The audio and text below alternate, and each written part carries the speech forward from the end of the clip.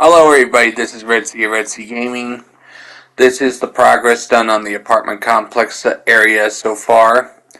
Alright, for those who don't know, I am using the Conquest Reforged texture pack. It's, I mean, there are no mods on this uh, Minecraft world. As you can see all this, I just run out of bricks yesterday, so I have to go and make some more. But I'm just showing you what's finished so far. As you can see, I'm turning to uh, the first apartment complex over there. Also, the reason why all this is being worked on at snail's pace, one second, I gotta get my two shulker boxes right here. Man, uh, being worked on at a snail's pace is because I'm doing this all by myself. As you guys can see, this is a lot of work for one player.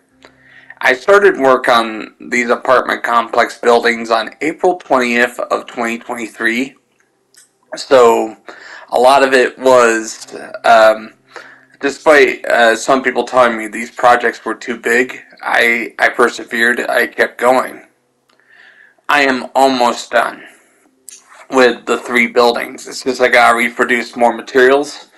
I still have to work on the fourth building, which will be the largest of the four. So, as you can see right here, I have most of it um, detailed and ready to go.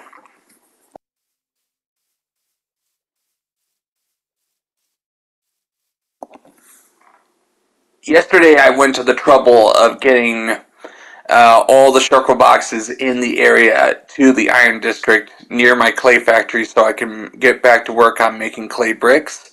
We're going to go there in a second. I'm just going to show you what the long journey there entails because uh, the iron district is 2,500 blocks away from my apartment complex area. So here we go. We're going to go right now getting in the boat. At first, it's going to be a slow journey. I sped it up by two times just so it wasn't too long, but at first it starts with water. This is the unfinished canal.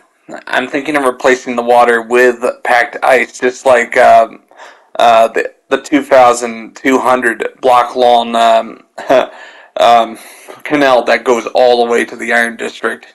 So as you can see, here we go.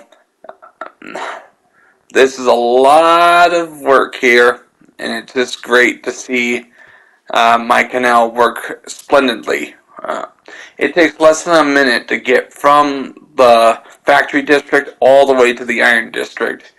Also, due to packed ice, it's really hard to keep straight as you're going forward.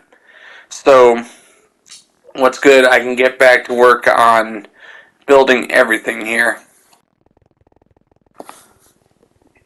It'll take me at least uh, five to six days to replenish my clay brick supplies because the machine only runs it so fast and I'm only one player so uh, all hands on deck until the clay bricks are replenished. So here we are. Let me just place the shulker boxes down. It's really hard to uh, put them down because I have my HUD off just for recording of this video.